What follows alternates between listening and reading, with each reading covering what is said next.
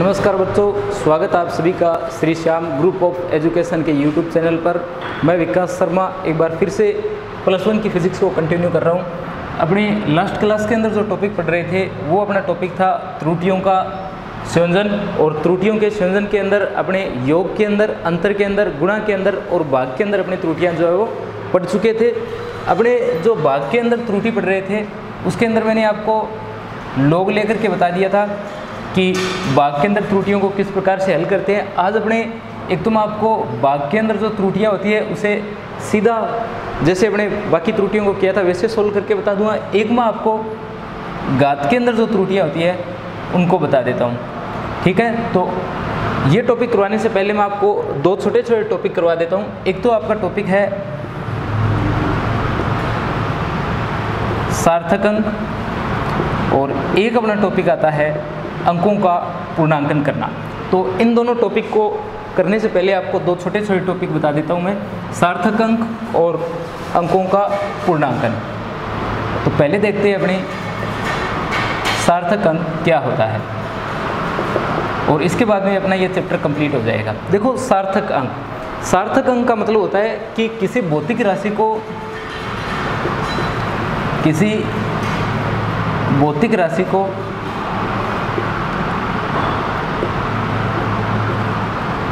यथार्थता पूर्वक व्यक्त करने के लिए आवश्यक अंक क्या कहलाते हैं? सार्थक अंक कहलाते हैं। यानी किसी भौतिक राशि को यथार्थपूर्वक व्यक्त करने के लिए जिन अंकों की आवश्यकता होती है, उन अंकों को अपने कहते हैं सार्थक अंक। जैसे सार्थक अंक का मतलब ये समझ सकते हो आप लोग आप लोगों को पता है कि जो सामान्य स्केल होता है, जो सामान्य स्केल होता है, उस सामान्य स्केल के अंदर इसका अल्पतमांक अगर आप देखो तो वो पॉइंट एक होता है। इसी प्रकार जो आपके पास में वर्नियर होता है, उसका अल्पतमांक अपने पॉइंट ज़ीरो एक लेते हैं। इसी प्रकार पेचमापी की बात कर लें, अगर पेचमापी या स्क्रू गेज की बात करें तो इसका अल्पतमांक अपने पॉइंट ज़ीरो ज़ीरो वन लेते हैं, ठीक है? अगर आपको सामान्य स्केल दिया जाए, अगर आपको क्या दिया जाए, सामान्य स्केल दिया जाए और आपको बोला जाए कि जैसे ये मार्कर है कि इसकी लंबाई ज्ञात कीजिए, किसकी सहायता से? सामान्य स्केल की सहायता से। तो आप लोग जब इसकी लंबाई ज्ञात करोगे तो आप इसके पाठ्यांक ये बता सकते हो कि इसका पाठ्यांक पाँच पॉइंट चार या पाँच पॉइंट पाँच या पाँच पॉइंट छः है। एग्ज़ाम्पल लिया है मैंने, ये कोई कि ये जो मार्कर है, इसकी लंबाई जो कितना सेंटीमीटर है? पाँच पॉइंट चार या पाँच पॉइंट पाँच या पाँच पॉइंट छः इनमें से कोई एक इसकी क्या हो सकती है? लंबाई हो सकती है। जैसे मान लें कि आपने जब इसकी लंबाई ज्ञात की तो वो लंबाई कितनी प्राप्त हुई है आपको? पाँच पॉइंट चार सेंटीमीटर जो है वो लंबाई प्राप्त हुई है। ठीक है? पर अगर आप लोग ये लिख देते हो कि पाँच पॉइंट चार तीन सेंटीमीटर पाँच पॉइंट चार तीन सेंटीमीटर आप लोगों ने लिख दिया तो इसे आप नहीं बोल सकते कि ये जो अपनी आपने पाठ्यांक लिखा है, ये विश्वसनीय है या नहीं है? क्यों नहीं है ये विश्वसनीय? क्योंकि आपको पता है कि जो सामान्य स्केल होता है, उसका अल्पतमांक कितना होता है? पॉइंट एक सेंटीमीटर होता है और पॉइंट एक सेंटीमीटर है तो ये दशमलव के बाद में सिर्फ़ एक अंक के बारे में आपको यथार्थपूर्वक बता सकता है कि इसका पाठ्यांक पाँच पॉइंट चार है। ठीक है, जो आगे के जो डिजिट आ रहे हैं, उनके बारे में ये आपको नहीं बताता। अगर आपके पास में वर्नियर है तो ये आपका पाठ्यांक क्या है, बिल्कुल सही है। आप इस पर भरोसा कर सकते हो, यानी ये विश्वसनीय पाठ्यांक है, पाँच पॉइंट चार तीन। अगर आपके पास में पेचमापी है तो इसके बाद का पाठ्यांक भी आपका जो पाठ्यांक होगा, वो क्या होगा? यथार्थ पाठ्यांक होगा।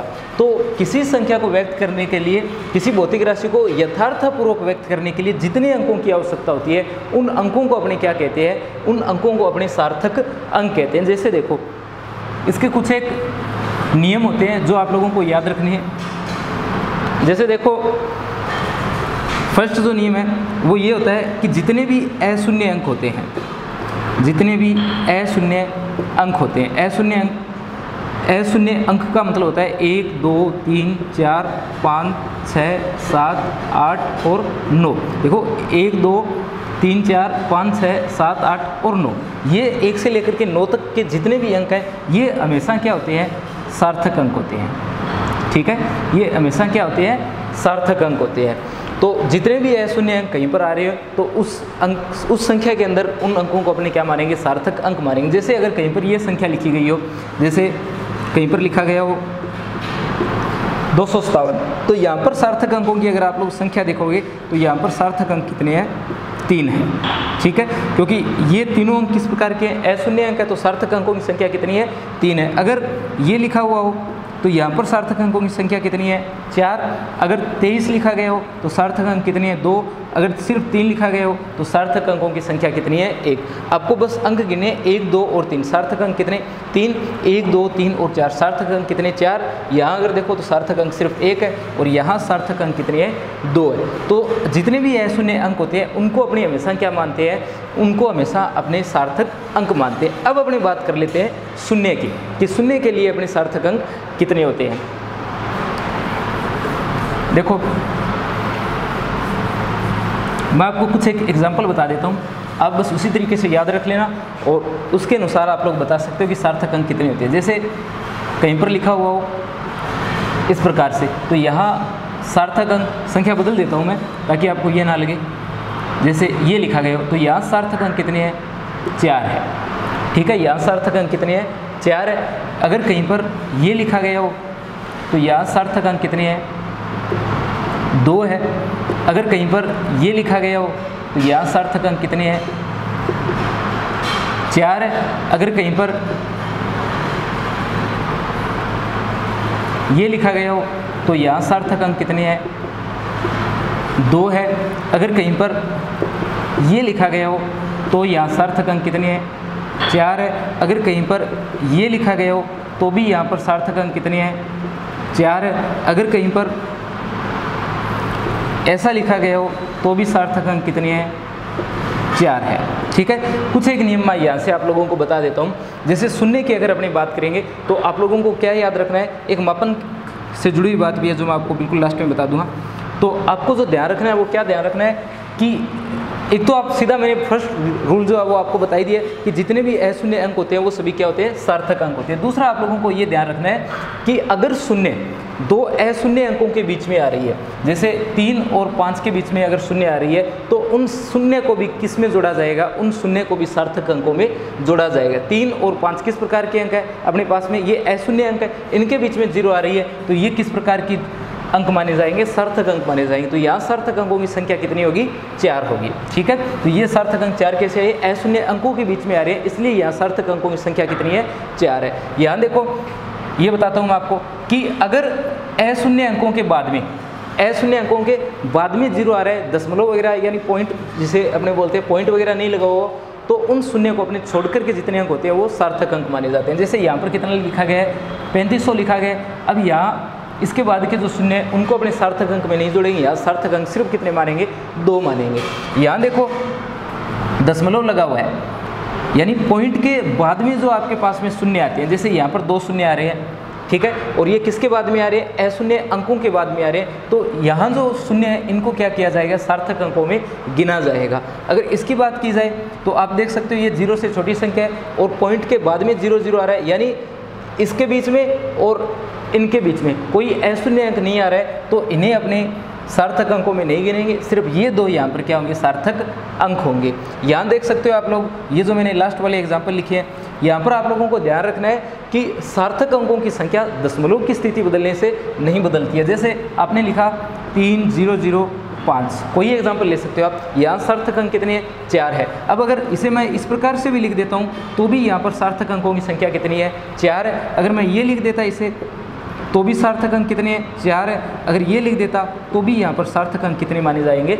चार माने जाएँगे। तो ये बातें आप लोग सार्थक अंकों के बारे में याद रखना। या तो आप रूल के हिसाब से याद रखो, या कुछ एक एग्ज़ाम्पल याद रखो, जिनके आधार पर आप बता सको कि इसमें सार्थक अंक कितने हैं। यहाँ देखो मैंने मापन लिखा हुआ है। इसका मतलब ये है कि अगर आपको मापन के द्वारा कोई संख्या प्राप्त होती है तो वो चाहे शून्य हो, चाहे किसी प्रकार की संख्या हो, उनको सार्थक अंकों में गिना जाएगा। जैसे अगर आप लोग मापन करते हो और आपको वज़न प्राप्त होता है तीस के तो यहाँ पर इन दोनों को अपने क्या करेंगे? सार्थक अंकों में मानेंगे। यानी मापन के द्वारा जो भी आपको संख्या प्राप्त होगी, चाहे वो संख्या किसी भी प्रकार की हो, उनको आप लोग क्या करोगे? उनको आप लोग सार्थक अंकों में शामिल करोगे। ठीक है? यहाँ देखो, यहाँ आप लोगों ने ये लिखा है। ये भी बता देता हूँ आपको, सार्थक अंक कितने मान रहे थे अपने? चार मान रहे थे। अगर ये इस प्रकार से होता तो सार्थक अंक कितने मानते? सिर्फ़ एक मानते। अब अगर ये इस प्रकार से होता पॉइंट एक ज़ीरो ज़ीरो तो इन सबको अपने क्या करेंगे? सार्थक अंकों में गिनेंगे। तो तीन तो ये हो गए, दो ये हो गए टोटल कितने हो गए? पाँच। तो ये सभी किसके अंदर आ जाते हैं? अपने सार्थक अंकों के अंदर आ जाते हैं। एक आप लोगों को सार्थक अंकों का ये भी ध्यान रखना है कि जोड़ में घटाओ में, गुणा और भाग में सार्थक अंकों की संख्या अपने किस प्रकार से ले सकते हैं? देखो सीधा लिख देता हूँ, योग या अंतर में या घटाओ में लिख सकते हो, गुणा या भाग में।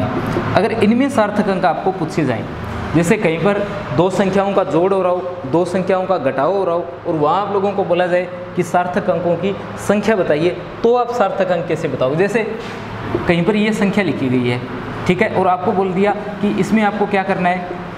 एक पॉइंट तीन दो को जोड़ना है। तो कहाँ तक इनका रिज़ल्ट सही माना जाएगा? इनका रिज़ल्ट सिर्फ़ इतने अंकों तक सार्थक माना जाएगा। यानी इसमें जो सबसे छोटी संख्या है, यानी सबसे कम सार्थक अंक इसमें, अपने ये देखेंगे यहाँ देखो, सार्थक अंक कितने हैं? चार है। यहाँ सार्थक अंक कितने हैं?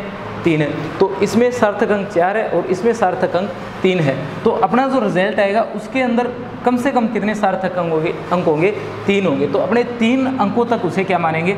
संख्या को सार्थक अंक में जोड़ देंगे। देखो, यहाँ सार्थक अंक चार है, यहाँ तीन है। तो इनका जो रिज़ल्ट आएगा, उसके अंदर अपने कांतक की संख्या को बिल्कुल सही मानेंगे तीन सार्थक अंकों तक की संख्या को सही मानेंगे जैसे यदि मैं इनको जोड़ूँ, देखो यहाँ, अगर मैं इनको जोड़ूँ तो ये सिर्फ़ तीन आएगा, यहाँ सात आएगा, और इनको अगर जोड़ें तो सात आएगा, ये आएगा। तो यहाँ देखो, न्यूनतम सार्थक अंक कितने हैं? तीन है। तो अपने बस यहीं तक का रिज़ल्ट लेंगे, यही रिज़ल्ट क्या माना जाएगा? सार्थक अंकों के अंदर बिल्कुल सही माना जाएगा। इनको जोड़ दिया, इनको जोड़ दिया। लास्ट वाले को जोड़ में तो शामिल किया है, पर सार्थक अंकों को कहाँ तक लेंगे अपने?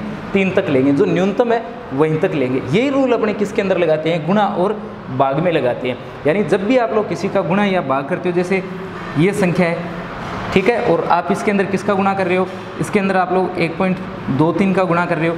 तो इसका जो आंसर आएगा, उसके अंदर जो न्यूनतम सार्थक अंकों वाली संख्या है, इन दोनों में देखो, इसमें सार्थक अंक कितने हैं? चार है। इसमें कितने हैं? तीन है। तो इसका जो आंसर आएगा, उस आंसर के अंदर तीन अंकों तक की संख्या को क्या माना जाएगा? बिल्कुल सार्थक अंकों में शामिल किया जाएगा। यानी इसका जो आंसर आएगा उसमें कितने सार्थक अंक होंगे? तो उसमें सार्थक अंकों की संख्या तीन होगी। यहाँ देखो आप लोग अगर भाग की बात करोगे तो आप लोग एक संख्या के अंदर दूसरी संख्या का भाग दोगे तो उसके अंदर भी आप लोग क्या देखोगे कि जो दोनों में से छोटी संख्या है, उसके अंदर यानी जिसके अंदर सार्थक अंकों की संख्या सबसे कम है, उतना ही उनके आंसर में सार्थक अंकों की संख्या रहेगी। वहीं तक आपको गुणा और भाग करना है। तो ये कुछ एक रूल है सार्थक अंकों के बारे में। देखो एग्ज़ाम में जितना एग्ज़ाम आप लोग पुराने पेपर उठा करके देखोगे तो उनके अंदर ये बहुत कम पूछा जाता है कि इनके नियम लिखो, गुणा या भाग के अंदर किस प्रकार से आता है। आपको कोई एक एग्ज़ाम्पल दे दिया जाता है। आपको ये बोल दिया जाएगा कि बताइए, इस संख्या में सार्थक अंकों की संख्या कितनी है, या यहाँ पर सार्थक अंक कितने हैं, यहाँ पर बताइए सार्थक अंक कितने हैं, या यहाँ पर बताइए सार्थक अंक कितने हैं, या यहाँ बताइए सार्थक अंक कितने हैं। ठीक है? तो इस प्रकार से आपको एग्ज़ाम्पल दिया जाएगा और उस एग्ज़ाम्पल के अंदर ही आप लोगों को बताना है, सार्थक अंक कितने यहाँ चार है, यहाँ तीन है, यहाँ चार है, यहाँ चार है, यहाँ पर एक है। ठीक है? तो इस प्रकार से आपको एग्ज़ाम में प्रश्न पूछा जाएगा। अब एक छोटा सा टॉपिक और आता है अपने बीच में। वो आता है अंकों का पूर्णांकन। ये बिल्कुल वही टॉपिक है, पूर्णांकन करना। अंकों का पूर्णांकन करना।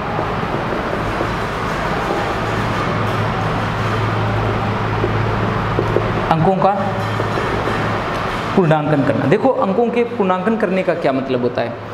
अंकों के पूर्णांकन करने का मतलब होता है कि आपको कोई संख्या दी जाए, उसे एक निश्चित सार्थक अंकों वाली संख्या के अंदर बदलना। किसी भी संख्या को एक निश्चित सार्थक अंकों वाली संख्या के अंदर बदलना क्या कहलाता है? अंकों का पूर्णांकन करना कहलाता है। और इसके लिए अपने क्या काम में लेते हैं? इसके लिए अपने समीपता का जो सिद्धांत है जो समीपता का सिद्धांत है, उसे क्या करते हैं? काम में लेते हैं। ठीक है? देखो, अंकों का पूर्णांकन करना। इसके लिए क्या क्या रूल काम में लेते हैं? हालाँकि आप इसके बारे में जानते हो पहले से कैसे देखो, अगर आपको ये संख्या दे दी जाए। ये एक संख्या दे दी। और आपको बोल दे कि यहाँ जो तीन लिखा गया है, इसका पूर्णांकन कीजिए। तो पूर्णांकन का क्या रूल रहेगा कि तीन के बाद में जो संख्या आ रही है, यहाँ जो फिर से लिख देता हूँ पॉइंट ये संख्या है जैसे, ठीक है? कोई एग्ज़ाम्पल अपने ये। और आपको बोल दे कि तीन को क्या करना है आपको? पूर्णांकन में बदलना है। तो या तीन का पूर्णांकन करना है। तो तीन के बाद देखो संख्या क्या है। अगर तीन के बाद की संख्या पाँच से छोटी है, यानी एक, दो, तीन, चार, इनमें से अगर कोई आ रही है तो आपको क्या करना है? इसे सेम रखना है। पूर्णांकन करोगे तो इसे क्या लिखोगे?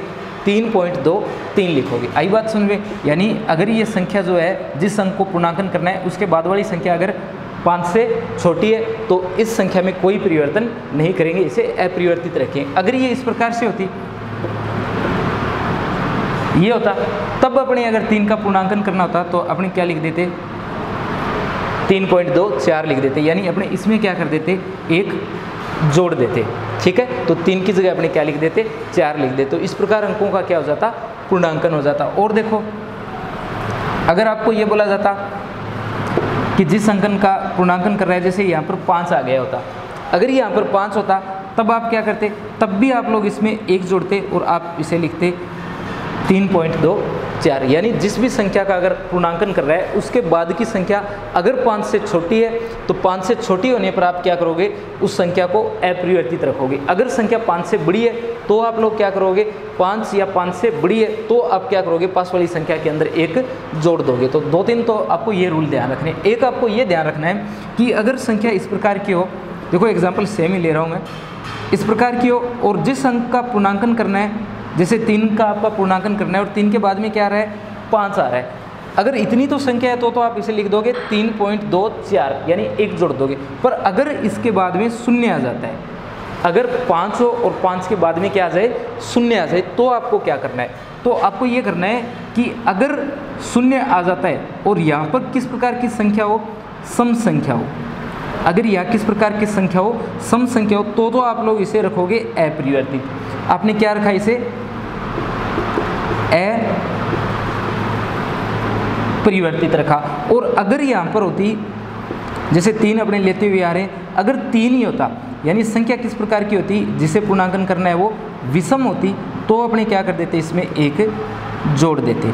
ठीक है? तो अपने इसमें क्या कर देते? एक जोड़ देते। यानी अगर तीन होता तो तो आप क्या कर देते? इसे चार लिख देते। और अगर चार होता तो चार का चार ही रहने देते। यानी अगर सम है तो तो अपरिवर्तित रखोगे। और अगर विषम है तो आप लोग क्या करोगे? उसमें एक जोड़ दोगे। तो ये आपके दो छोटे छोटे टॉपिक थे। एक तो सार्थक अंक और एक अंकों का पूर्णांक अंक इसके अंदर सार्थक अंक इंपॉर्टेंट रहते हैं। कोई एक एग्ज़ाम्पल दिया जाता है और बोला जाता है सार्थक अंकों की संख्या बताइए। ठीक है? तो अपने चैप्टर के सारे जो टॉपिक हैं, वो कंप्लीट हो चुके हैं। एक टॉपिक के बारे में मैंने आपको बताया था कि जो अपने बाघ के अंदर त्रुटियाँ हैं, उसे त्रुटियों का जो संयोजन कर रहे थे, उसके अंदर चार नंबर जो त्रुटि थी, ये मैंने आपको बताई थी। और आपको बताया था कि आप लोग के द्वारा इसे क्या कर सकते हो, हल कर सकते हो, जैसे ए बटा बी है। तो लोग के द्वारा आप लोग इसे सीधा सोल्व कर सकते हो। अगर लोग के द्वारा नहीं करते हो तो आपको क्या करना है? और अगर गात के अंदर त्रुटियाँ दी गई हो तो आपको क्या करना होता है? तो गात के अंदर पहले बता देता हूँ, क्योंकि अपने कल इसे नहीं पढ़ा था। अगर गात के अंदर संख्या दी गई हो तो क्या करते हैं? जैसे एम और एन ये अगर आपको दिया हो तो यहाँ पर आप लोग लोग लेते हो। आपने क्या लिख दिया? इसे लोग एक्स लिख दिया। और इसे क्या लिखोगे? इसे लिखोगे लोग ए एम माइनस लोग बी एन ठीक है? और लोग में जो घात होती है, उसे पहले लिखते हैं। ये आएगा एम लोग ए और ये आएगा माइनस एन लोग बी ठीक है? ये आ गया लोग एक्स और अब आप क्या बोल दोगे? अवकलन करने पर, अवकलन करने पर। अगर अवकलन कर देते हो तो ये बनेगा डेल एक्स बटा एक्स और बराबर ये बनेगा एम डेल ए बटा ए और ये बनेगा एन डेल बी बटा बी ठीक है? और अगर इसे लिखना चाहो डिटेल में तो लिख सकते हो डेल एक्स बटा एक्स और इससे पहले प्लस माइनस बराबर डेल ए बटा ए इससे पहले प्लस माइनस और यहाँ माइनस प्लस और एन डेल बी बटा बी देखना, यहाँ इससे पहले एम है। ठीक है? तो इस प्रकार से आप लिख दोगे। फिर आपको वही संभावित चार मान और अधिकतम मान जो है वो लिखना होता। तो ये एक त्रुटि का प्रकार और है गात के अंदर त्रुटियाँ। अब देखो के अंदर जो त्रुटियाँ हैं, वो मैंने आपको इसी प्रकार से बताई थी लोग करके। और अगर लोग करके आप नहीं करते हो तो आपको क्या करना होगा? देखो, अगर लोग नहीं करते हो तो अपने क्या लिखते हैं? अपने एक्स को क्या लिख सकते हैं? एक्स को इस प्रकार से लिखते हैं जैसे अपने कल लिखा था। जैसे गुणा वगैरह को लिख रहे थे। तो एक्स में क्या जोड़ दिया आपने? प्लस माइनस डेल एक्स जोड़ दिया। और किसके इक्वल लिख दिया? आपने लिख दिया A plus minus del A और B plus minus del B लिख दिया। यहाँ एक्स को क्या करोगे? बार की ओर लिखोगे और one plus minus del X बटा एक्स लिखोगे। फिर देखो, ये आएगा समीकरण नंबर एक लगा देना। यहाँ ए कॉमन और क्या आएगा? A plus minus del A बटा ए और यहाँ बी कॉमन और एक प्लस माइनस डेल बी बटा बी ठीक है? अब देखो, आप इसे ये भी तो लिख सकते हो।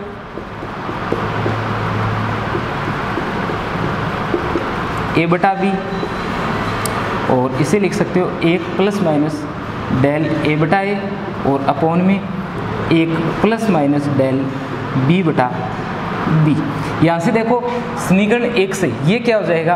कैंसिल क्यों? क्योंकि ये बराबर है, और ये क्या आ जाएगा? ये आएगा एक प्लस माइनस डेल एक्स बटा एक्स और किसके equal one plus minus del A बटा ए के और ये देखो भाग के अंदर घात जो है वो प्लस की एक है, ऊपर की ओर जाएगी तो माइनस का एक बनेगी। यानी एक प्लस माइनस डेल बी बटा बी और घात जो है वो किसकी आ जाएगी? माइनस की आ जाएगी। देखो, ये प्लस की घात है नीचे की ओर। ऊपर लेकर के जाओगे, ये घात किसमें बदल जाएगी? माइनस में बदल जाएगी। तो ये आपके पास में मान आ गए। अब देखो, आपको यहाँ पर क्या करना होगा।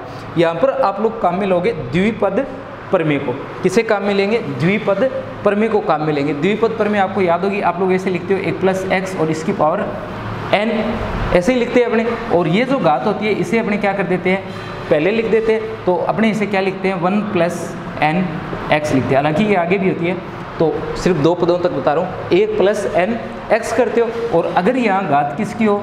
माइनस की हो तो भी आप इसे पहले लिखते हो, और ये किसका आ जाता? माइनस का आ जाता। अगर ये इस प्रकार से होता, एक माइनस एक्स, इसकी पावर एन तो आप क्या लिखते? ये लिखते। अगर ये होता तो ये किसका आ जाता? प्लस का आ जाता ठीक है? यानी ये मान सकते हो इन दोनों निशानों का क्या होता है? मल्टीप्लाई होता है। अगर प्लस होता तो एंसर में भी प्लस आ जाता और माइनस होता तो माइनस आ जाता। है ठीक है? ये अपनी बात होती है द्विपद परमे की। तो यहाँ अगर अपने क्या कर दें, द्विपद परमे लगा दें इसके अंदर तो देखो ये क्या बनेगा? ये बनेगा एक प्लस माइनस डेल एक्स बटा एक्स और किसके इक्वल? एक प्लस माइनस डेल ए बटा ए के और आगे जो लिखा गया है, वो है A minus plus del B बटा बी देखना, मैंने क्या किया है? इन निशानों को आपस में बदल दिया है। जो प्लस का था, उसे माइनस का कर दिया। जो माइनस का था, उसे मैंने प्लस का कर दिया। ऐसा क्यों है? क्योंकि मैंने अभी आपको बताया कि ये जो पावर है, ये क्या आ जाती है? द्विपद पर में लगाते हैं, तब पहले आ जाती है। तो प्लस और माइनस का मल्टीप्लाई करोगे तो क्या आएगा? माइनस आएगा। और माइनस और माइनस की जब आप लोग मल्टीप्लाई करोगे तो उस जगह क्या आएगा? प्लस आएगा। यानी पहले ऊपर वाले की तरफ़ माइनस आ जाएगा और नीचे वाले की तरफ़ क्या आ जाएगा? प्लस आ जाएगा। अपने यहाँ पर क्या किया है? द्विपद परमे लगाई है। जो इस प्रकार की मैंने आपको बताई थी, ये वाली जो बताई थी कि पावर माइनस की हो, तब क्या होगा? तब ये इस प्रकार से बन जाएगा। ठीक है? तो अगर माइनस वाला लोगे अगर प्लस वाला लोगे तो ये आएगा क्योंकि पावर माइनस के अंदर है, या पावर माइनस एक है। और अगर आप कौन सा लेते या माइनस लेते तो माइनस और माइनस मल्टीप्लाई होके क्या बनता? प्लस तो जो प्लस का है, उसमें तो माइनस आ रहा है, जो माइनस का है, उसमें प्लस आ रहा है। तो यही काम अपने यहाँ पर किया है। ठीक है? हालाँकि द्विपद प्रमेय जो है, उसे आप लोग मैथ के अंदर पढ़ोगे, और सेकंड चैप्टर के अंदर कुछ एक बातें वहाँ पर मैं भी आपको बताऊँगा। तो ये फ़र्स्ट चैप्टर अपना कंप्लीट हो जाता है, फिर अपने मैथमेटिकल जो पोर्शन है फिजिक्स के अंदर, उसे पढ़ेंगे। तो देखो, अब अपने क्या करेंगे? अब अपने इसे तो सीधा लिख देंगे। One plus minus del X बटा एक्स, और इसे क्या करेंगे? इसके साथ में मल्टीप्लाई करेंगे। तो देखो, ये क्या बनेगा? ये पहले तो एक को करोगे तो ये बनेगा एक प्लस माइनस डेल बी बटा बी। ठीक है? अब किसकी बारी? अब इसकी। तो क्या लिखोगे? प्लस माइनस डेल ए बटा ए, फिर इसे मल्टीप्लाई करोगे तो ये फिर से क्या बनेगा? प्लस और माइनस का करोगे तो माइनस प्लस और ये बनेगा del A del B A और बी और ये जो आपका यहाँ लिखा गया है, इसे आप लोग क्या मान लोगे? नगण्य मान लोगे। ठीक है? ये जो टर्म है, इसे अपने क्या मान लेंगे? नगण्य मान लेंगे। तो यहाँ लिख देना, इस टर्म को नगण्य मानने पर। अगर इसे आप नगण्य मान लेते हो तो देखो आपके पास में क्या बचता है? आपके पास में ये बचता है one plus minus del X बटा एक्स और किसके equal? One minus plus del B बटा बी और प्लस माइनस डेल ए बटा ए। और माइनस से ये एक से एक यहाँ पर हो जाएगा निरस्त और आपके पास में बचेगा सिर्फ़ प्लस माइनस डेल एक्स बटा एक्स और प्लस माइनस डेल ए बटा ए और माइनस प्लस डेल बी बटा बी। ये बचता है। ठीक है? यहाँ से अगर आप लोग लिखना चाहो, संभावित त्रुटियों के मान। संभावित त्रुटियाँ। तो देखो क्या आएगी? तो आएगी डेल ए बटा ए डेल बी बटा बी और एक आएगी कोमा लगा देना।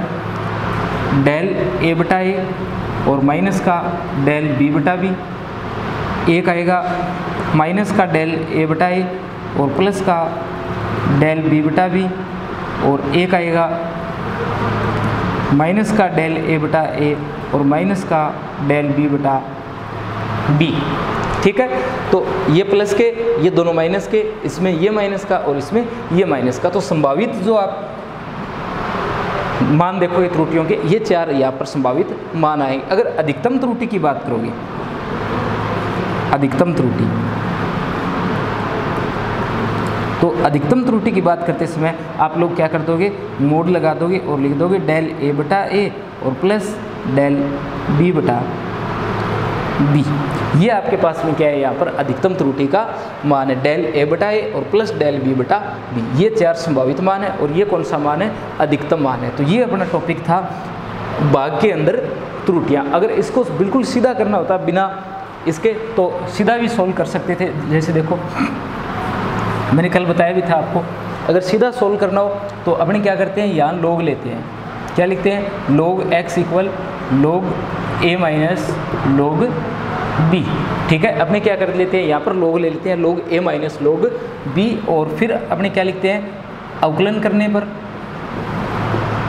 अवकलन करने पर, और ये आता है डेल एक्स बटा एक्स और डेल ए बटा ए और माइनस का डेल बी बटा बी ये देखो, ये अपना यहाँ पर आंसर आ जाता है, जो अपने इस जगह लिख रखा है, ये वाला आंसर और जब इसे प्लस माइनस के रूप में लिखोगे तो ये डेल एक्स बटा एक्स और ये del plus minus del A बटा ए और ये देखो, पहले जब प्लस आ रहा है, तब माइनस आ रहा है, जब माइनस आएगा, तब यह प्लस आएगा, और डेल बी बटा बी ये बिल्कुल वही मान बन जाता है जो इस जगह आप लोगों ने लिख रखा है। तो ये अपने पास में एक त्रुटियाँ जो है, उसे प्रदर्शित करने का तरीका होता है। आपके पास में दो तरीके हैं, बाघ और गुणा, और एक जो आपका घात है, उसके लिए मैंने आपको दो दो तरीके बताए हैं।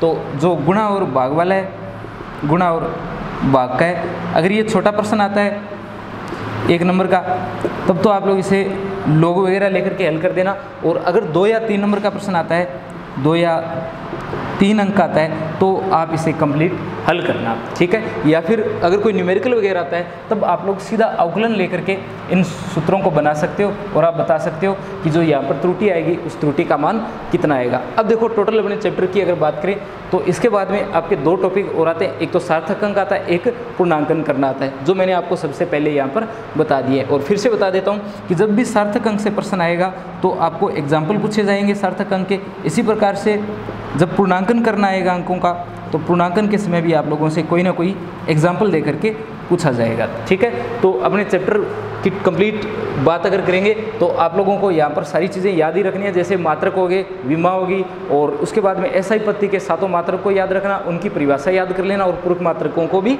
याद रख लेना। उसके बाद में वर्नियर, और अपने जो पढ़ा है एक तो वर्नियर पढ़ा था, और एक जो पेचमापी पढ़ा था पेचमापी इन दोनों के अल्पतमांक जो है, वो ज़रूर याद कर लेना। यहाँ जो आप लोगों ने चुड़ी अंतराल पढ़ा है, यहाँ जो आप लोगों ने चुड़ी अंतराल पढ़ा था, उस चुड़ी अंतराल की परिभाषा भी आप लोग ज़रूर याद रख लेना कि चुड़ी अंतराल जो है, वो क्या होता है। ठीक है? उसके बाद हम लोगों ने व्रत और सूक्ष्म दूरियों का मापन पढ़ा था और फिर अपने ये त्रुटियाँ आ जाती है। परम त्रुटि और जो अपेक्षित त्रुटि और जो प्रतिशत त्रुटि आप लोगों ने पढ़ी थी, जो परम और अपेक्षित और जो प्रतिशत त्रुटि आपने पढ़ी है, वहाँ से आपसे कोई न्यूमेरिकल प्रश्न पूछा जा सकता है, ठीक है? तो आपका फ़र्स्ट चैप्टर कंप्लीट हो जाता है और कल अपने नया चैप्टर शुरू